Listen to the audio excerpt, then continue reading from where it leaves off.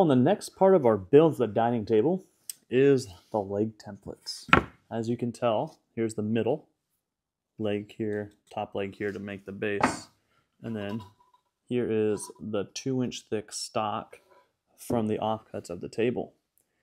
Now, something we got to be able to handle uh, this thicker material because a flush trim straight router bit is oddly terrifying. And when I hit the end grade on that, I've had pieces fly out of my hand.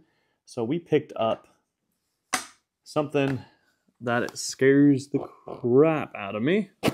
And that is this ginormous helical head style router bit. Now, if you look at it, we got two and a half inches of cut capacity in between the bearings there.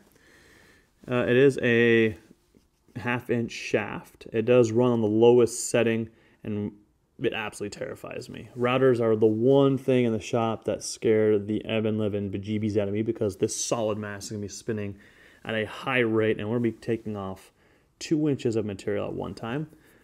Kind of excited, not going to lie to you guys. But enjoy the B-roll as we see this guy peel through some wood and then we'll give you our thoughts on the end of how well this works. Now, we did pay $100 for it, and so it is on the cheaper end. We're going to see what we get as far as how good it is, the machine tolerances between the bearings and the cutters itself.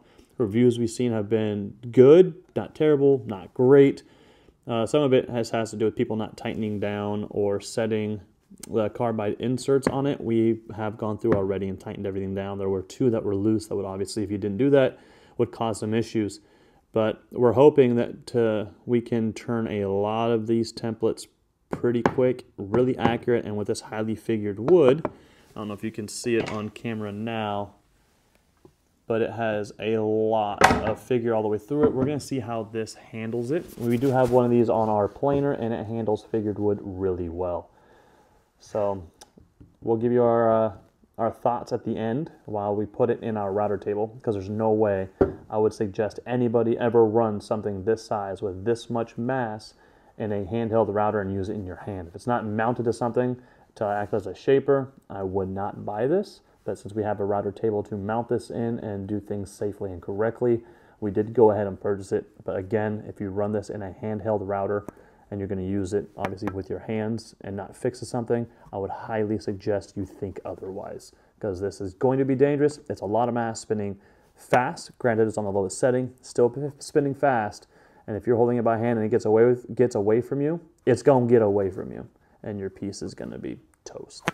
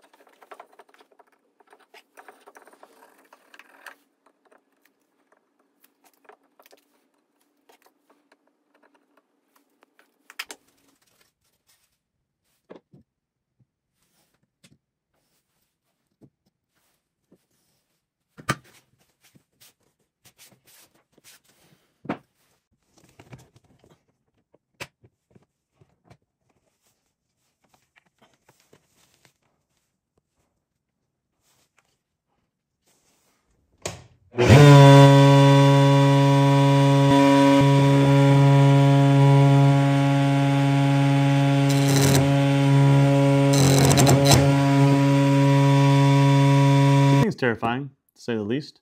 I had higher hopes for that uh, that bit, not the highest hopes, but higher than I got. Um, so as you can see in here, we're taking off less than an eighth, maybe a little more than a sixteenth. And it wanted to just leap this piece out of my hand. I tried it on some pieces that were only taking a 16th off, exact same thing. Terrible chatter, uh, I knew right when I started it, as you've probably seen in some of the B-roll, the vibration is terrible. That most likely means that the tolerances on that bit with that mass are not high enough. I mean, for $100, what can you expect, honestly? I bought it with decent hopes, probably knowing I was going to send it back just based on that. We barely touched the wood. I already knew what was going to happen if I went forth with that. And hopefully we did the right thing, took it off immediately. I'm not risk, risking to injure these bad boys. I got all 10 of them. I want to keep all 10 of them. But we did get a template bit and a pattern bit. So if one doesn't go up high enough, we can swap out, you know, do the bottom, cut it, swap out the other bit, take the template off, let the piece over and start registering that other half. And you can get quite a bit of material done with that. And we will get one of those tomorrow and another one next week, midweek, I believe.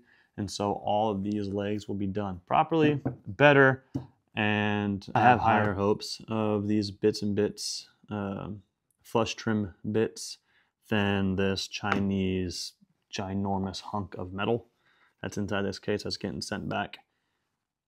I have used one of these, but it was from Amana and it cost $400 for a shaper, which handled it fantastic. Granted, the shaper is 7 horsepower and a much larger spindle was an inch.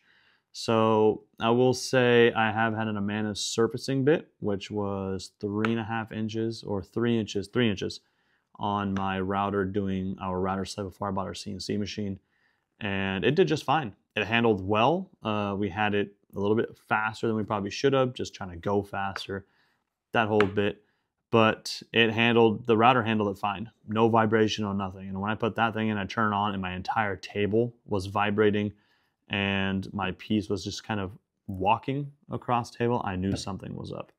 Also i don't know you probably can't tell in the film but it does not actually register off of the piece as well as i thought. It should be exactly flush. It's not it's actually below the piece a little bit and there is that gap between that top cutter and the bearing. And I had that gap right at the edge of my template thank goodness.